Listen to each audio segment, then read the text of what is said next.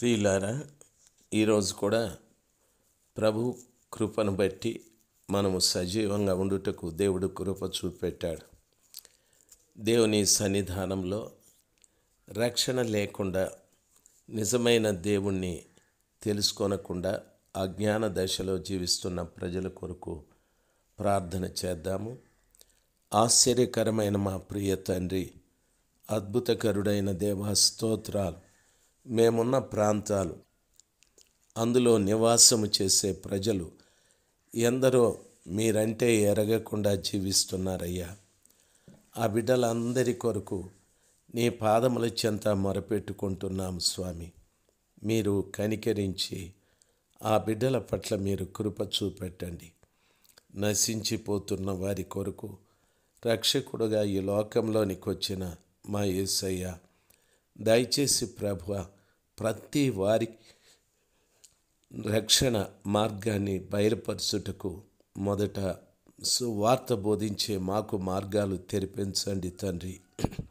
ఎందరో సువార్తకు భిన్నంగా ప్రవర్తించువారు వ్యతిరేకించువారు పోట్లాడువారు లెక్కలేనంతమంది తయారయ్యారు స్వామి.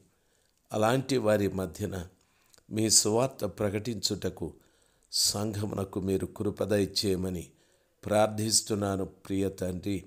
మీకు వందనాలయ్యా. ప్రజలను ఆవరించినటువంటి అజ్ఞానాన్ని తొలగించండి. నీ వాక్యము సెలవిస్తుంది. వాక్యము బయలు వెడలిన తోడనే చీకటి గల స్థలములలో వెలుగు కలుగునని తెలివిలేని వారికి అది తెలివి పుట్టించునని. దయచేసి ప్రభ మీ వాక్యము ప్రజలకు వెలుగును తెలివిని దయచేసేది. అటువంటి వాక్కును మా ప్రభ బోధించుటకు నాకు మాకందరికీ కూడా నేర్పించండి స్వామి. మా మా మా నోట మీ మాట ఉంచండి ప్రభు. దయచేసి మీరు కార్యము చేయండి. మీరు సర్వశక్తిమంతుడైన దేవుడు. ఆ గొప్ప కార్యం చేసి అనేక మంది ప్రజలు నీ రాజ్యమును ప్రజలకు సు సులభంగా ప్రకటించుటకు కృపదయ చేయమని యేసుక్రీస్తు ప్రశస్త నామమున ప్రార్థన చేసి వేడుకుంటున్నాను పరమ తండ్రి. Amen amen. మహిమగల దేవుని ప్రశస్త నామాన ప్రభు రక్తముతో కడగబడిన మీ అందరికీ కూడా నా హృదయపూర్వకమైన ధన్యవాదాలు. ఈ నూతన సంవత్సరము అని చెప్పుకుంటున్న మనము మనము దేవుని ఆలోచన ప్రకారముగా నూతనంగా మనము మార్చబడ్డామా? మనలో ఆ నూతనత్వం దేవుడు చూస్తున్నాడా? అనేది ఒక చిన్న ప్రశ్న వేసుకోనండి. మనము నూతనంగా మారకుండా ఎన్ని సంవత్సరాలు కొత్త వచ్చినా ప్రయోజనం లేదు. మనం క్రొత్తవారుగా కావాలి.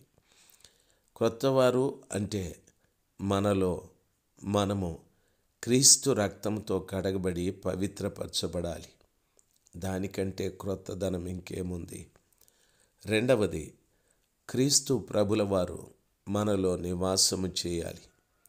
అప్పుడే కదా మనం క్రొత్తవారుగా ఉంటాము. మూడవది దేవుని వాక్యం మనలో నివాసము చేయాలి.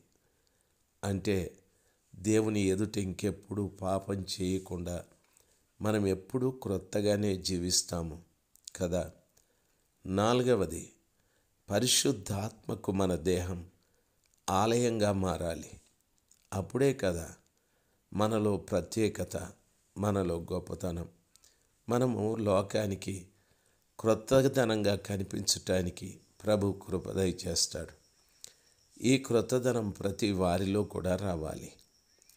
ఏసయ్యని నమ్ముకున్నాను అనడం కంటే ఏసయ్య చెప్పిన రీతిగా నేను మారడం మనం మారడం ఎంతైనా మంచిది కదా?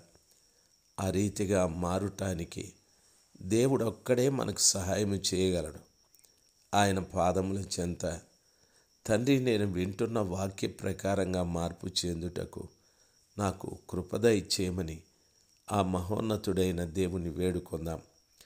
ప్రియులరా క్రిందటి దినాన సంఖ్యాకాండం పదవ అధ్యాయం పదమూడవ వచనములు పన్నెండు వచనంలో ఉన్న విషయాలు మాట్లాడుతూ చెప్పాను. పారాను అరణ్యములో ఆ మేఘము నిలిచాది అని. పారాను అను మాటకు బిలములు అని అర్థం. ప్రియులరా దేవుని బిలలుగా మనము గమనించవలసిన విషయం బిలము అంటే గుహ లేకపోతే స్వరంగము అని అర్థం. యోబు గారు చెప్పినట్లుగా బిలములలో జంతువులు నివాసము చేస్తాయని చెప్పాడు. నిన్నటి దినాన మాట్లాడుతూ ఆ విషయాన్ని చెప్పాను. అయితే ఆ గుహ అనేది సంఘము. ఈ రోజున ఎందుకు సంఘాన్ని ఉద్దేశించి మాట్లాడుతున్నాను అని అంటే ఇప్పుడు సింహమున్న గుహలో ప్రియులరా ఎలుగుబంటి రాదు కదా. ఎలుగుబంటి ఉన్న గుహలోకి పంది రాదు కదా. పంది ఉన్న గుహలోనికి జింక రాదు కదా. వేటి వేటి గుహల్లో అవే ఉంటాయి. ఆ రీతిగా ఈ రోజున సంఘాలన్నీ కూడా వేరువేరుగా ఉన్నాయి. సిఎస్ఐ వారు బ్యాప్టిస్ట్ వారితో కలవరు కదా. బ్యాప్టిస్ట్ వారు లూథరన్ వారితో కలవరు కదా. లూథరన్ వారు బైబిల్ మిషన్ వారితో కలవరు కదా. బైబిల్ మిషన్ వారు పెంతుకోస్తూ వారితో కలవరు కదా. ఎవరి గుహలు వారివే. దయచేసి గమనించవలసిన విషయం. నేను అడిగే మాట నీవే గుహలో ఉన్నావు? అనేది మిమ్మల్ని ఒక ప్రశ్న అడుగుతూ ఉన్నాను ప్రియులారా అయితే ఈ రోజున ఎవరి గుహలు వారివే కానీ ఆ మేఘం ఈ రోజున ఆ గుహలున్న ఉన్న ప్రదేశంలో వచ్చి నిలిచాది. అంటే ఆ మేఘమున్న స్థలంలోనే సాక్ష్యపు మందిరాన్ని ఇజ్రాయేలు ప్రజలు మోషే అహరోను నిలబెట్టబోతూ ఉన్నారు. ప్రియులరా అయితే ఈ గుహలలో ఉన్న వారందరూ కూడా రకరకాల జంతువులు. జంతువుకున్న స్వభావం ఏమిటంటే గమనించవలసిన విషయం జంతువుకి బలం ఉంటుంది రూపం ఉంటుంది దానికి విలువ కూడా ఉంటుంది. అమ్మితే కొంత ఖరీదు వస్తుంది అలాంటి జంతువుకి దేవుడే సరిగా తెలియదు. యషియా ప్రవక్త ఈ రీతిగా చెప్తాడు ఎద్దు తన సొంత కామందు నెరుగును గాడిద తన సొంత దొడ్డి తెలుసుకొనును. అయితే ఈ ప్రజలు నన్ను ఎరగలేదు అని యషియా ప్రవక్త చెప్తాడు. ఎద్దుకి తన యజమాని తెలుసు. గాడిదకి తాను ఎక్కడ కట్టబడాలనో ఆ దొడ్డి తెలుసు. అయితే ఎద్దుకు కానీ గాడిదకు కానీ జంతువులకు వాటి సృష్టికర్త తెలియదు కదా. ప్రియులరా గమనించవలసిన విషయం ఈ రోజున ప్రభు పిల్లలుగా ఎంతోమంది సంఘాలలో ఉంటున్నారు. సంఘాలలో ఉంటూ ఆ సంఘాన్ని నడిపించే కాపరి తెలుసు. ఆయనే వారికి దేవుడు. ఆయనే వారికి పరలోకం. ఆయనే వారికి సమస్తం. అయితే ఆ సంఘం అనే గుహము గుహలో ఉన్న ఆ ప్రజలకి దేవుడు తెలియదు కదా. అందుకనే యోబు భక్తుడు అంటాడు బిలములలో జంతువులు నివాసం చేస్తాయని. ఈ రోజున దేవుని ఎరగని బిలములలో ఉన్న ప్రజలారా మనము జంతువుల వలె ఉంటిమా? బాగా గమనించవలసిన విషయం. అలాంటి జీవితం మనకుంటే దయచేసి బయటికి రండి. ఇదిగో ఆ పారాను అరణ్యములో సాక్ష్యపు మందసం సాక్ష్యపు మందిరం. దానిపైన దేవుని మేఘం నిలిచి ఉంది. అక్కడికి రండి. అక్కడ బలిపీఠం ఉంది పాప క్షమాపణ ఉంది శుద్ధీకరణ ఉంది వాక్యానుసారమైన జీవితం ఉంది ప్రార్థన అనుభవం ఉంది. పరిశుద్ధాత్మ నింపుదల ఉంది. దేవుని ప్రత్యక్షత ఉంది. ఇటువంటి ఆత్మీయ అనుభవం కలిగిన సాక్ష్యపు మందిరం ఆ స్థలములో ఉంది. ప్రియులరా ఇంకా గుహ జీవితాలు మాని కృపగల దేవుడు చెప్పిన రీతిగా సాక్ష్యపు మందిరములో ప్రవేశించటానికి మనం ఎందుకు సిద్ధపడకూడదు? ఈ రీతిగా దేవునికి ప్రతిరూపమైన ఉపకరణాలు. దేవుని వద్దకు ప్రత్యక్షంగా ఆయన ముఖదర్శనం చేసుకునే ఆ శ్రేష్టమైనటువంటి మార్గము మనకు చెప్పబడి ఉంది. ఆ స్థలాన్ని విడిచిపెట్టి ఇంకా గుహ జీవితాలు ఎందుకు అని మిమ్మల్ని నేను కాదు దేవుడే అడుగుతూ ఉన్నాడు. ప్రియులరా గమనించవలసిన విషయం సాతాను గురించి మాట్లాడుతూ నీవు సమాధి పొందకయ్యే పారవేయబడిన కొమ్ము వలె ఉన్నావు.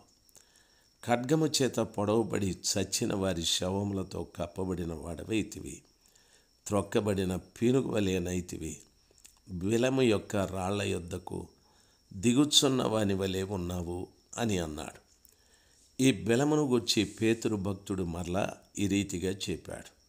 అంటే కటిక చీకటి గల పాతాళ మందలి కటిక చీకటి గల బిలములలోనికి త్రోసి అని అంటాడు.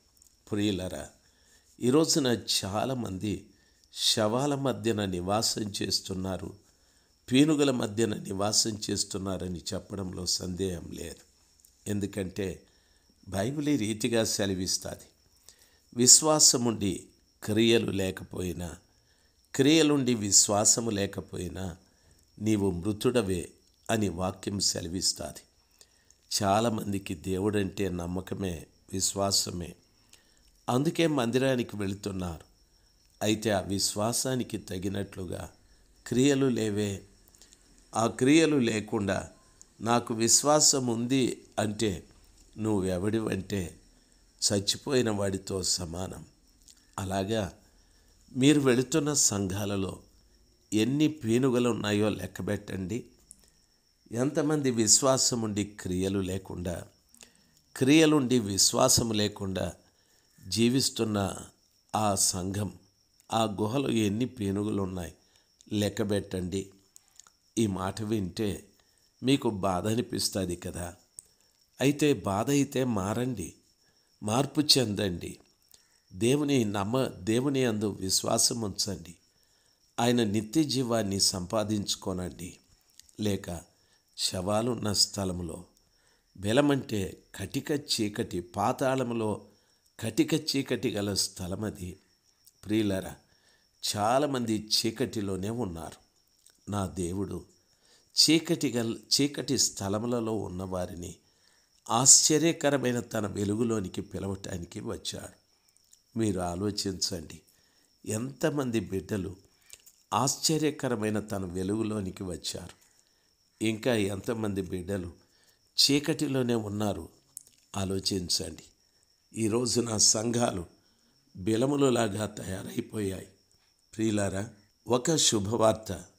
అటువంటి బిలములున్న స్థలంలో సాక్ష్యపు మందిరం సాక్ష్యపు మందిరం ప్రత్యక్షపు గుడారం అక్కడ వేయబడ్డది.